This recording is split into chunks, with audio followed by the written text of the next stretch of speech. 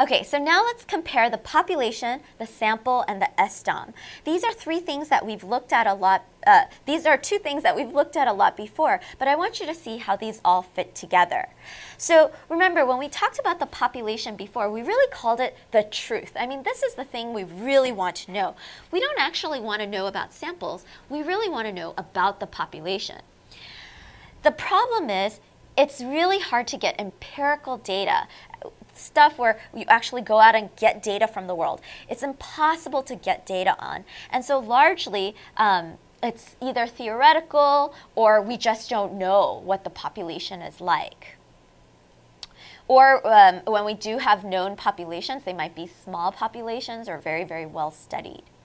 Um, and the summary values for those for the population are called parameters, right? And in the same way, the samples are not the truth, and we're not really interested in samples, but we're using the sample as a window to the truth, right? What's nice about the sample is that unlike the population, it's it's empirical. We could actually go out there and get data on it. And um, the summary values are called statistics, right? We call them statistics. And so for the population, we, call, uh, we symbolize the mean by saying mu. Here we call it x bar.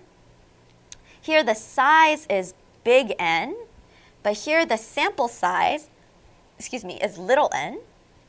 Variance here is called sigma squared, whereas here it's um, little s, so this is the um, n minus 1 version squared, right?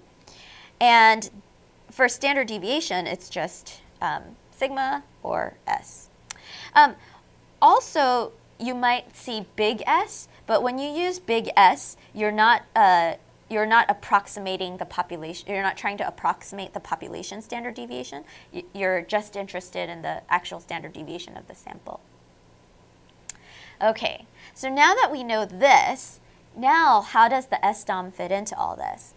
Well, the SDOM, is it the truth? Is it the thing we want to know? No, not really. Nor is it just a window to the truth. But in essence, what it really helps us do is it helps us get from this to this. It's sort of like the middleman. Because what the SDOM is, is like a whole bunch, a whole distribution of windows to truth, right? So although it's not the truth itself, it helps us interpret this sample because it's a whole bunch of windows to the truth. And you could sort of see, ah, where does this sample fit in to this um, sampling distribution of the mean, right? Um, it's, we don't get data on it. It's not empirical. It is theoretical, right? It's still a theoretical um, distribution. But we could easily generate it because of the CLT. Right? Those principles help us know what the SDOM looks like. And instead of calling them parameters or statistics, what we call them is expected values, just like probability distributions. They're both um, theoretical uh, distributions of samples.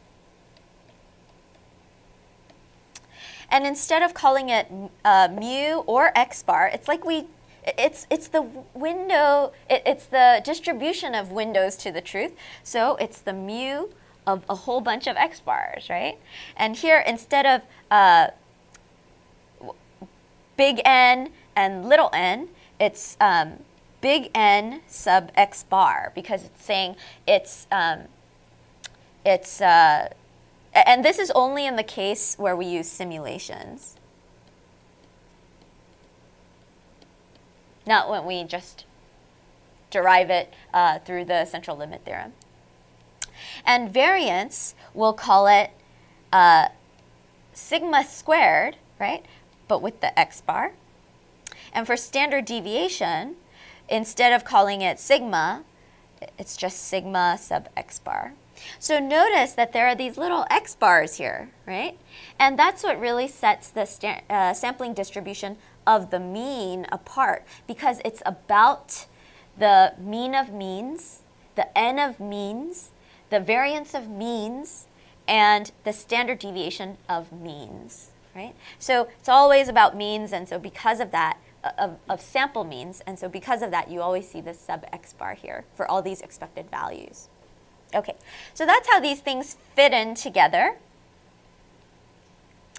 And so now let's answer some of these questions, uh, questions that remain. This was from the previous lesson. Um, we, even when we went over sampling distributions in general, we had some questions that remained. Um, so perhaps the SDOM can help us answer some of these questions. So what happens when we don't know what the population looks like? Well, um, in the case of the SDOM, um, we don't have to know what the population looks like, right? So if you use SDOM, or the sampling distribution of sample means, then you don't really need to know what the population looks like.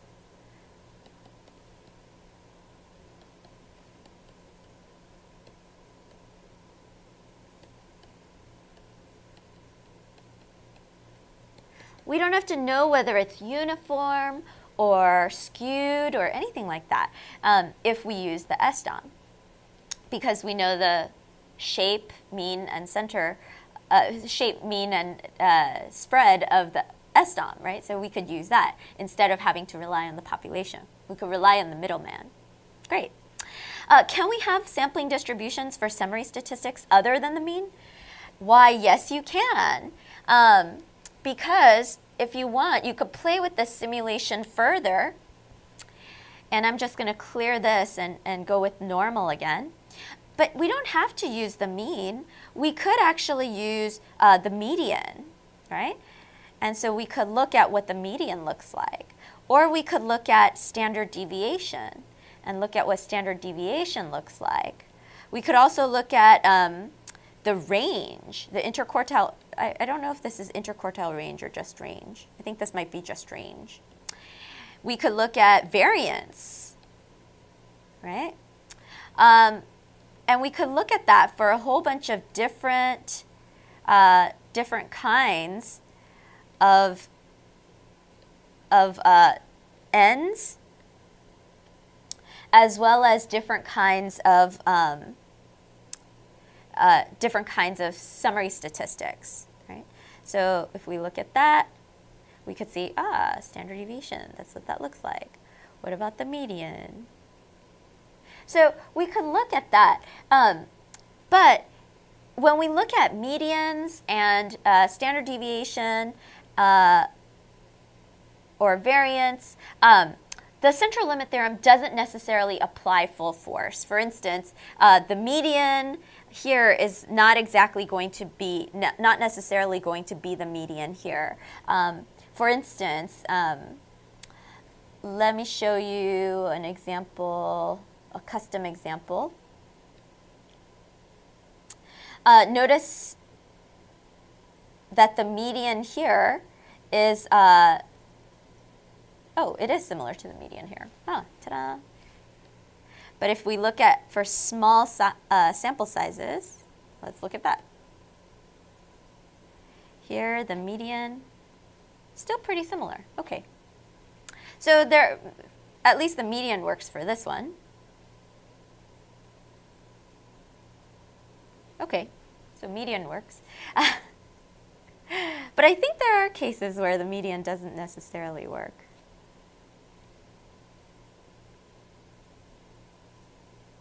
Ah, like this one. Okay, so here the median is 17, but here the median is uh, 16. So the medians don't always necessarily equal the median of the um, sampling distribution of medians, right?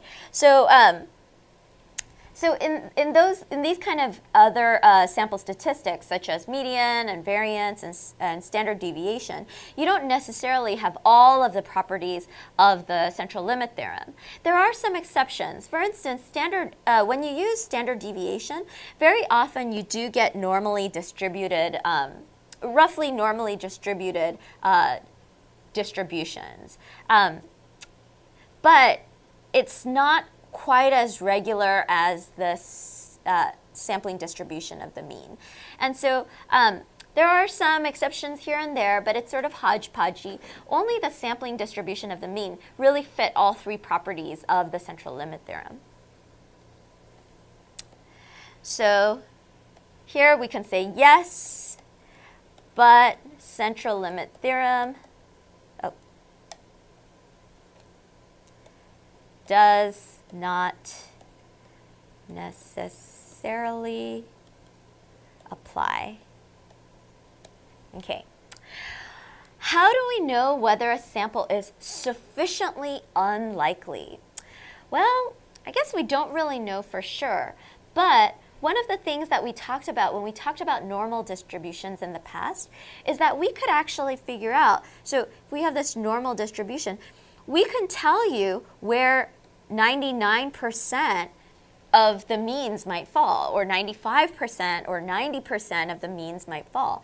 And so we could actually make these cutoff points once we know what, um, what standard deviation, that, uh, I mean, sorry, once we know uh, that it's a normal distribution. We could, we could decide sort of as long as it's, you know, way different than 99% of what's expected, we could say, oh, it's sufficiently unlikely. So we could set these sort of arbitrary marks. So um, although it doesn't say exactly how different it has to be, we could set marks given that it's a normal population.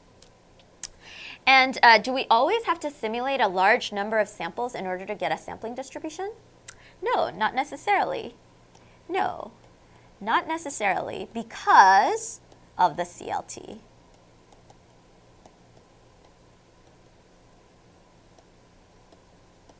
So the CLT does not rely on simulations.